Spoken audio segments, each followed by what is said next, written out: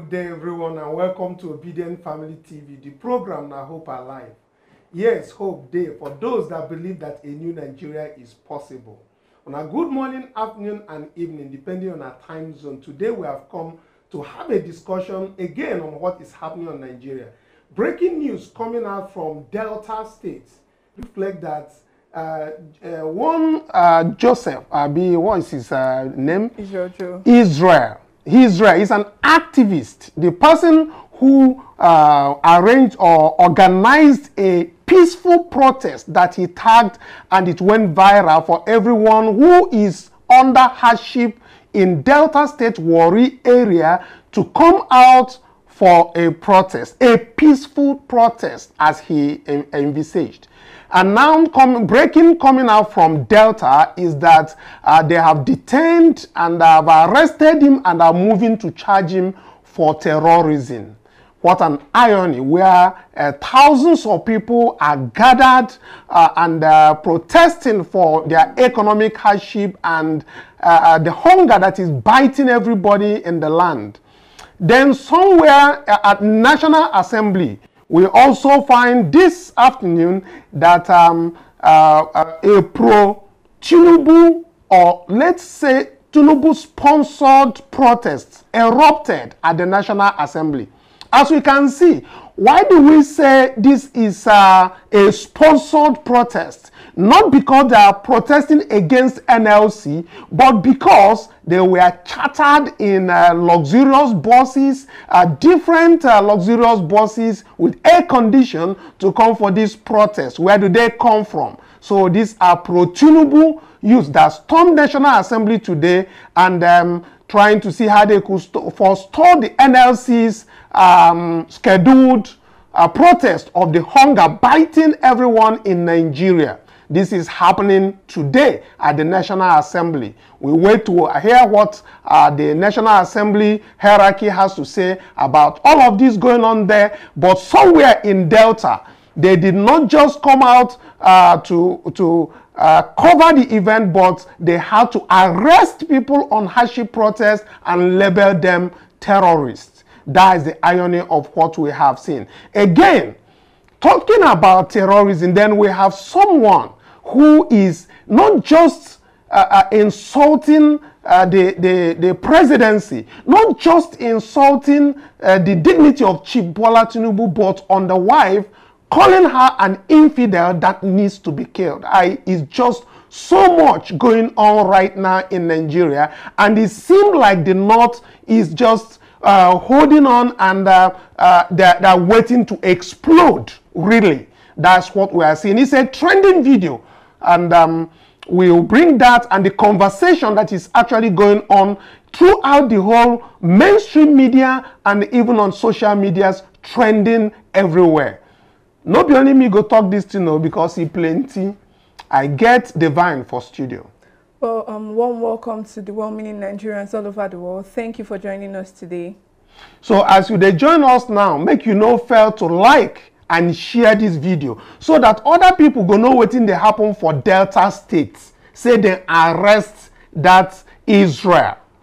The guy wey be say na peaceful protest na im im post. E no talk say make people come riot or something.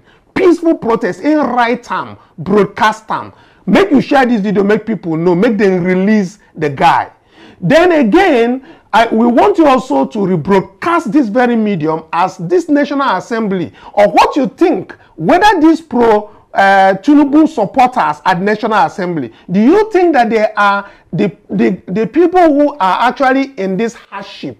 Uh, do you think that they are hungered? Because we can't see any banner that is showing that there is hunger in their faces. We can't see anything, but we can see them uh, being uh, coming out with different placards uh, to say stop the protests what is happening in Nigeria if it is not sponsored. But again, uh, the president of National Assembly, which is Akpabio, already said that protests are sponsored and we have started seeing one. So they will sponsor one and ask them to come to their own domain which is the national assembly where they will be protected where no police will come and arrest nobody where no police will be shooting at the top or soldiers around. And you see police around them but nothing will happen. But where the masses really are where they are hungry you will see them What about what happens uh, today? You can see the shot, you can see the gun that is being shot at the screen right now. Being shot up for people who are protesting, but we don't see that at National Assembly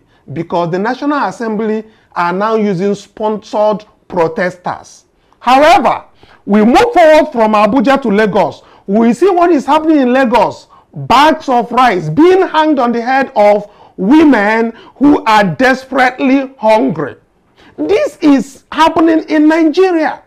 Customs giving bags of rice to these people, not for free, with their name, we mentioned that earlier, but putting that very same uh, bag of rice to their heads, each one of them, as if they are throwing the bags of rice at them. We'll bring that. But let's start with this very particular thing at National Assembly. Um, um, the vine, we can see clearly the uh, Godswill Akpabio, who is the president of Senate, made it very clear that uh, the sponsored protesters are all over Nigeria and they have shown us one. At least for today, we have seen that protesters who were actually sponsored came out to National Assembly and being backed by the police and civil defense and they were there protesting at the National Assembly for their own sake. Well, um, we've seen, like you rightly said, about the um, sponsored protests. And, um, you know, I have just one question. Are these youths um, pro-Tinubu or are they pro-stomach um, infrastructure? Because from the looks of it, these are just victims of the ravaging hunger in the Nigerian ecosystem currently because I see no reason why you allow yourself to be bought over by politicians who do not have your interest at heart and have them print, um, you know, placards for you. We see most times when there's a hunger, um, you know, inspired protests by the masses, they just come out. You see, there's no organization. This protest obviously has a structure. You can see printed banners, well printed, with different colors. You can even printed T-shirt, yeah, and even um, printed caps. So you can tell um, when something was um, sponsored by politicians. And once again, that's why I said they are pro stomach infrastructure. Yes, and They're just looking for what to eat. Yes, and the vine, you notice there, you will see that Channels Television was invited, mm. Arise Television was invited, and most of these people, I mean, before you call them to call you, there must be an arrangement. Right. Protest, except the one that is organized, like the one that happened in Delta, right. which obviously uh, they said they have arrested the person right. who uh, is calling people to protest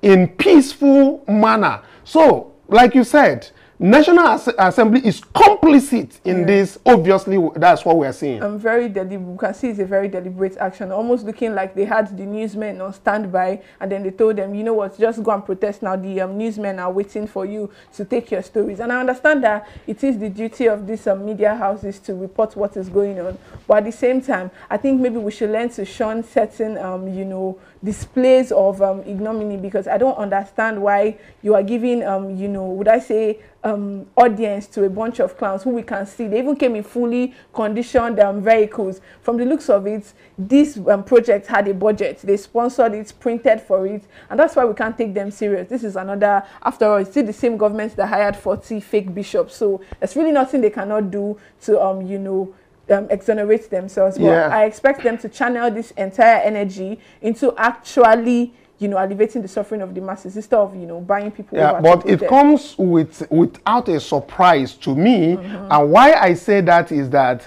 uh, yesterday we, we saw the tweet that uh, Daniel Bwala says mm-hmm. that if you love Tinubu, if you know what you have to do for Tinubu, right. you need to support him at this very time, mm-hmm. this, this, and that, this. And there are so many things around that tweet that we projected yesterday. Yeah. So he, he has called everybody around Tinubu, whatever they can do. Now, what they are doing is is to doing a counter protest. But obviously, I must say this straight on.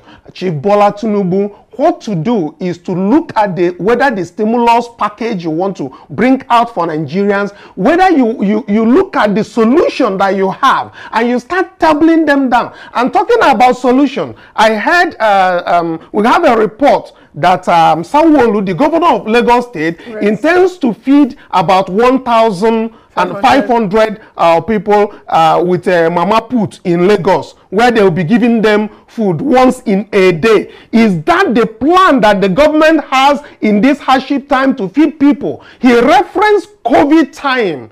COVID time, we understand it was a pandemic. Mm-hmm. People can't even go out, they can't even buy food stuff. But this time around, you say you want to feed. How many people will you put, will you feed in Lagos State that is about 8 million or 10 million? million? 20 million people. Can you imagine that? How many people on which budget are we talking about? What is really going on in Nigeria? How stupid do they think we are in Nigeria? Let's hear uh, very briefly on what that Sanwo-Olu had to say about this. We'll come back. We'll not go to. Level will be that we are now going to do what we call, you know, the, the, the soup bowl in the, the soup kitchen we did it also during COVID. We want to identify uh, mama put, you know, um, um, um, um, um, caterers that are in, in your do, and we want to be able to feed between a thousand, a thousand five hundred in every local government per day. You know, at the first instance for the next, you know, 30 to 60 days. So let's watch out the logistics. You know, we have identifying, you know, the, the, the, the caterers already. You know, uh, funds will be sent to them, and they will have vouchers so that just people just walking, you know, and just give them something, you know, to eat, you know, one a day, and let's just continue, you know, on that. The, the, the whole idea around this is that one of the verticals will reach will reach you in one form or the other. So that's regarding food. No, I've not. Just hear them. People that don't have solution, they, I, it just baffles me on how they think. Yeah. 1,500 per local government on Mama Put, according to him. Yeah. Well, um, Lagos has 20 local governments, um, and so if we do 1,500 times by 20 local governments, we're talking um, an average of like 30,000 people across the states, right? And so the question is just that um, why do you um, always look for short-term solutions. These are these are nothing because I mean the average man has to eat at least two square meals. And so when you say we'll give them one, what does that do eventually? After you finish eating the mama foods, what does that do for you? The hunger is still crying. And now this is just um, you know, looking like um, they're trying to replicate what is going on in the north with the almajiris. Maybe do the this is probably like the western version of the almajiris because now you have them with vouchers according to what he said, and then they queue up and then you give them food. When in reality you can just make life easier for them. I was looking at the banner while um, behind him while he spoke, the one that said um, Sanwo-Olu speaks and they are building hope and building resilience. And my problem is this resilience that the um, Nigeria um, ruling class keep you know selling to Nigerians you know be patient be resilient good things will come.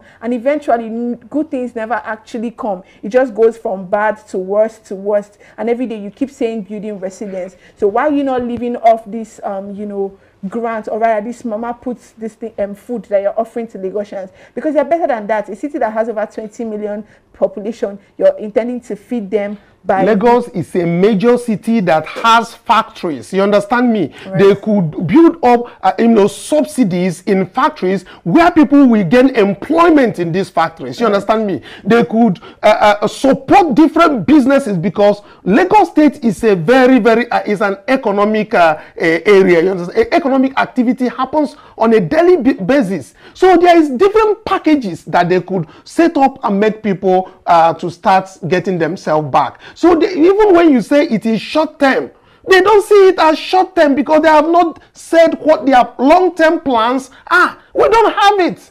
What are the plans? But anyway, let me remind us, whatever is your, uh, you want to comment on this, please go to the comment section.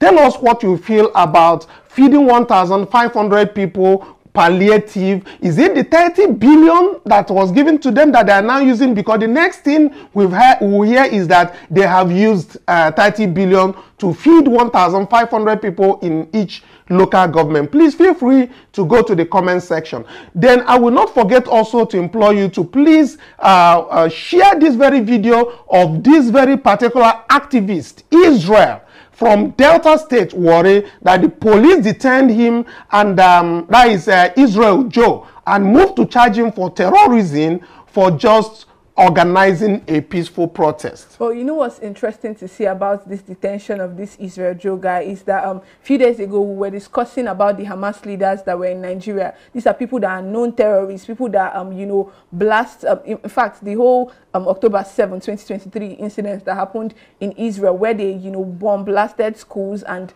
rather just did a lot of inhumane things. These are the people that our government invites over, has conversations with them on roundtable live television but they draw the line when a young man tries to you know you know gather people who are feeling the same plight with him to come and you know ask for a better living for them but they are allowed to you know And invite hamas um, pe- people that we know are terrorists but they draw the line when you try to speak Yes, and uh, he clearly made it uh, open that it's a peaceful protest. Right. And if they had to detain him and charge him for terrorism, as they are talking about, Right. they would have allowed uh, probably for the something to escalate to an extent where violence is already in place before you say you want to charge him. That, that is the same thing they did to Sowore. That is the, I think, uh, Sahara Reporters um, guy who actually was now, they, after five years, they have to quash all charges against him after spending millions or billions on senior advocate of Nigerians that they've been given uh, the job. Now, talking about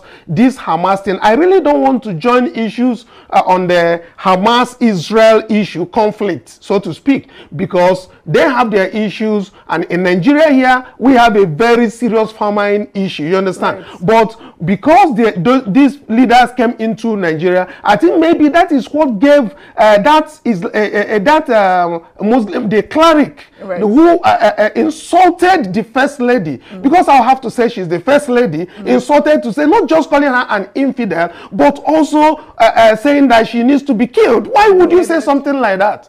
Why would somebody come out where they are, uh, where the camera is capturing the person to insult the, the first lady like that? But it's entirely up to them. I'm not uh, a fan of the first lady. I'm not a fan of Tinubu either. But at the same time, I give them respect as the respect is due to them. That's why whenever I want to call him, I call him Chief Bola Tinubu. You understand? Because he's an elderly statesman. That he has come and snatched it and run with it does not mean that I will have to come here, sit down and uh, insult him. No, we don't do like that. But we clearly bring out what they are doing that is wrong in the government. We criticize what things that are not going well in their government and make sure that they take necessary action to make sure that those things are moving well.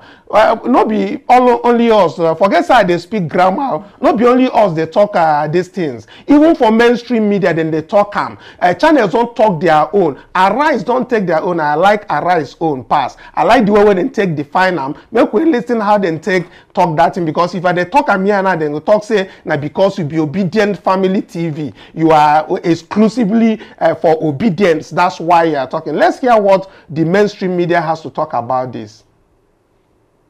Many Nigerians have called on security forces to immediately arrest an Islamic cleric who in a now viral video declared that Nigeria's first lady, Senator Oluremi Tinubu, deserves to die for being a pastor.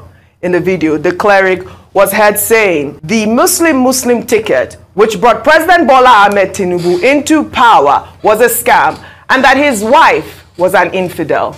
He went further to refer to the Quran without providing any chapter or verse of the Quran to back his claim. Well, let's take some reactions. Well, this person wrote, This man clearly needs to be put behind bars, preaching violence, preaching ignorance, preaching hate. There are a lot of topics he could preach upon, but will never educate and call people to stop engaging in illicit wickedness and white collar misconduct in a sane country, his utterances are equivalent to treasonable felony and not only fanaticism. The police and agencies responsible for citizens' safety should swiftly act on this type of crime for using people's ignorance to deploy mayhem. This is terror.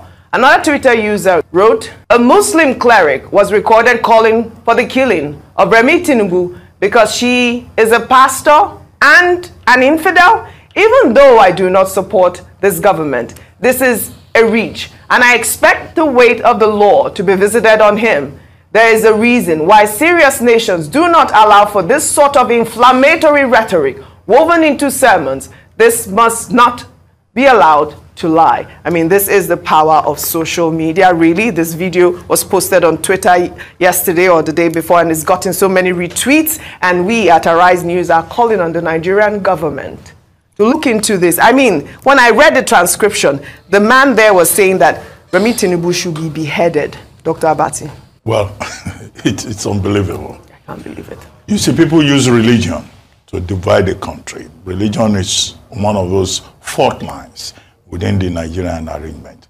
And that somebody will have the temerity, the audacity, the confidence to go on uh, social media, to go public and ask that the wife of the president be killed. I mean, it, it, it's the height of it.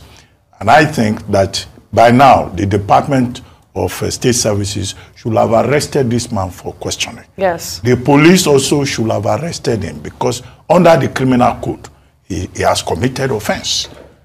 If you look at the criminal code, if you threaten to kill anybody under section 320 of the mm. criminal code, you are you have committed a felony and you are liable to seven years imprisonment. Under section 323, you also cannot make an attempt to kill anybody. Uh, it's, uh, you know, not to talk of uh, threatening that other people should go and kill somebody. Now again, Mrs. Remi Tinubu, everybody should realize this. He's a citizen with full rights under the Constitution of Nigeria. And those rights include the rights guaranteed under Section 38 of the Constitution, which talks about freedom, thought, conscience, and religion. There's nothing that says that if your husband is a Muslim, you too should be a Muslim. Your husband can be a, a Muslim. In fact, you can be a traditionalist. It is your right under the uh, Constitution. And as for his comment about uh, Muslim, Muslim ticket and all that, that's a political statement. We keep saying that the pulpit should not be used to make divisive, inflammatory, unacceptable remarks. And that's uh, a duty. There is a body called NIREC. That's uh, the Nigerian, uh, the National Interreligious Council which has leaders from every religion and they meet regularly you know uh, uh, the leaders of both religions are there i think it's about time that NIREC establish a task force to deal with you know clerics like this whether christian or muslim who make statements that will bring down the the the, the doctrine you know on both sides and to stretch the matter further further i'm surprised that this islamic cleric doesn't even know the Quran. And how he couldn't read. He was saying that uh, uh, Allah says anybody who is an infidel uh, should be killed. The, the, the Quran and the Hadith, if you look at both the Quran and the Hadith, there's nothing like that there. I have copies of the Quran. So I'm, I'm not even just quoting anybody. I have copies of the Quran myself. See, he says that Islam is a religion of peace. Absolutely. And Islam preaches unity. It preaches oneness. Absolutely. So how can somebody claim that he's a, he's a cleric and he's turning the Hadith and the Quran upside down? This is part of the problem we face with religious charlatanism yes. in this country. Absolutely. The cleric story is a sad indication of how low our country has become. But I would also blame it largely on the politicians. Yeah. They are the ones that bring a lot of religion into politics because they want to use it and favor them. Let's not forget. And we condemn that. I condemn that cleric in totality. I think the government should go after him. But let's not forget, we've had other clerics make more incendiary statements. I don't do anything to them. We have the Sheikh Gumis of this world. Mm. We, we, what, what was the need for getting 40 bishops to endorse candidate Tinubu then or aspirant Tinubu then? The episode of the 40 bishops just to be able to justify a Muslim Muslim ticket. They are the ones making mockery of religion, and that's the, they are the ones that are giving impetus to people like this to be able to say all sorts of incendiary things like this. So the politicians too should watch it. Absolutely. That man needs to be picked up immediately. Okay, so uh, we've heard it. Uh, it's coming out from left, right, and center, and uh, we condemn such uh, uh, such things coming out from people who preach and uh, has a lot of assembly members who are listening to them. Shouldn't uh, such things be happening? Shouldn't be happening at all. Then um, let's get from that very part of um, the north let's get to plateau state where we heard that a protest again has erupted against the insecurity, hunger, joblessness uh, in the state of Plateau. We can see these are what you call the hunger strike protest. It is always peaceful. You will not see people who are branded. You will not see people who bosses has brought with an air condition. You, are, you will not see people who has been bought or sponsored. These are well-meaning Nigerians who out of their hunger come out to express their displeasure with the government that the cost of living is very high and the palliatives cannot exalt this nation at all.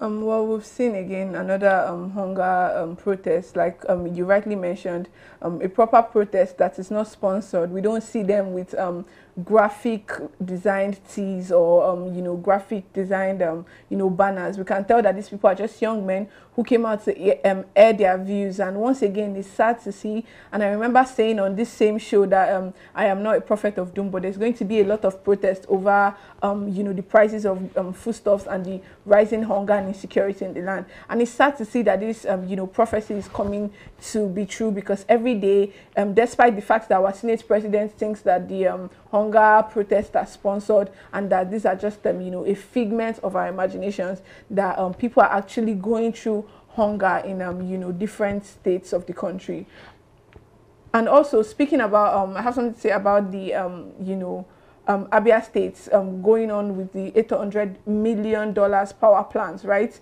Um, what seen what's going on, the Alex Otti-led government in Abia State has literally left um, the majority of Nigerians and Nigerian states behind. And then, you know, on the 26th of February, he's going to be commissioning a geometric power plant that is set to supply steady power to the nine local governments in Abia. That was a big dive you did there from the other side. You enter to the side where things are happening, good news is right, coming out. Right. It's more like trying to say bad news is going all around Nigeria, but Abia State, where the only place we have an obedient oh, governor, yeah. something special is happening. Right. Guys, we need to give respect to whom respect is due. We need to give accolade to whom it is due. The only obedient governor that we have is Alex Otti, and he's doing wonders in Abia State. Right. Talk about the road construction that is superb. Talk about this very $800 million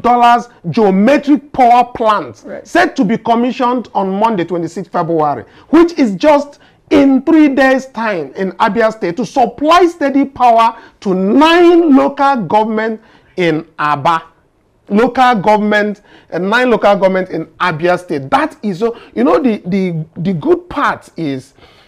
I want to encourage our people to go to the comment section and how Alex Otti, right. the only obedient. You can imagine if we had like 10 obedient uh, governors. Wow. What do you think will happen?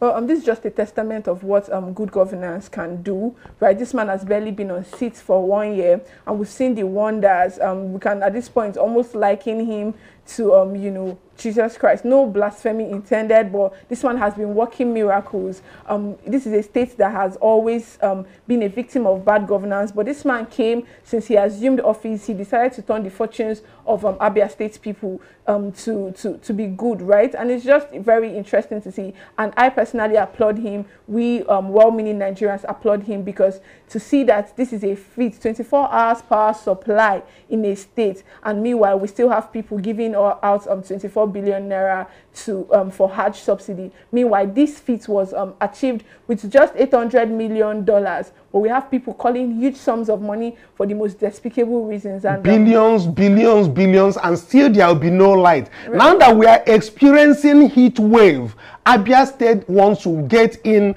about 24 hours worth of power supply. Right. This is just incredible. Please go to the comment section, share this video, let other people join in congratulating Alex Otti of um this of uh, Abia State. And again, uh, we need to, you know, make sure that we get more of obedient governors come the next uh, three years uh, or so. We just need to get that because if we had this, I think Nigeria is going to be different because Abia State now, we are not seeing any protests coming out from there. It's always good news, good news, and good news. And that is a friend of our principle. So for today, uh, we are going to call it a day. But wherever you are watching us from, please, if today is the first time of watching Obidient Family TV, do subscribe. That is what you can do to promote this very channel and the obedience worldwide. Wherever you are and you have watched this, please, uh, talking is not cheap. Some people say it is cheap. It is not. A lot of things are involved. But all we desire from you for now is just for you to like and share this video. Until we come your way again tomorrow, please do a shout out for Israel, the activist in Delta State that is being moved for uh, terrorism charges. Let's trend on him massively. Please do share this video. Thank you until tomorrow. Bye for now. It's high time that our pastors stopped asking Nigerians to pray more for Nigeria because God is not deaf. Societies that invest in education, in good governance, in agriculture and infrastructure, and the rule of law will prosper and they will enjoy a good life. While those, of course, that shirk their responsibilities and promote mediocrity, corruption, tribalism, horrible elections, even if they do the most prayer and they are the most religious, religious they would never prosper. There's no demon that cannot be killed with better leadership. There's no demon that will survive better investment of national resources into development. No demon will survive a free and fair election. There's no demon from any parts of, of hell that will survive a nation that has 100,000 megawatts of electricity. That demon will die.